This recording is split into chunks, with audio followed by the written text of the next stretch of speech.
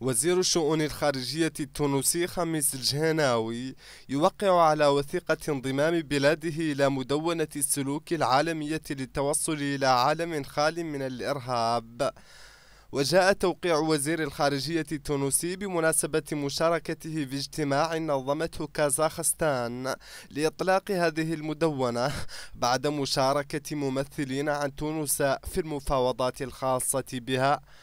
وجاءت المدونة الأممية الجديدة في شكل إعلان سياسي إلى حين تم تقديمها في شكلها النهائي متضمنة عددا من المبادئ الطوعية المرتبطة بأهمية احترام الدول لالتزاماتها الدولية والاتفاقيات والمعاهدات ذات الصلاح.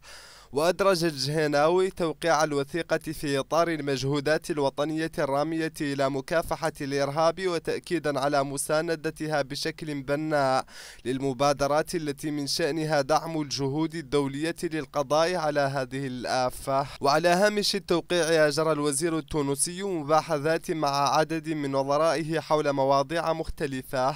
فقد استعرض مع نظيرته الإندونيسية ريتانو مارسودي سبل تعزيز مختلف أوجه التعاون الثنائي كما وقع على مذكرة تفاهم بين البلدين بشأن إحداث آلية للمشاورات الثنائية.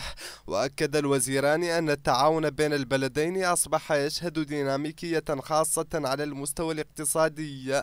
وجدد الوزير بهذه المناسبة توجيه دعوة لنظيرته الإندونيسية لزيارة تونس.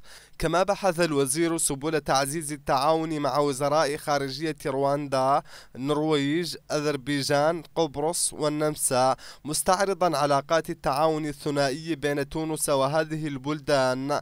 والنظر في سبيل تعزيزها وتطويرها ولتبادل وجهات النظر بخصوص القضايا الإقليمية والدولية ذات الاهتمام المشترك.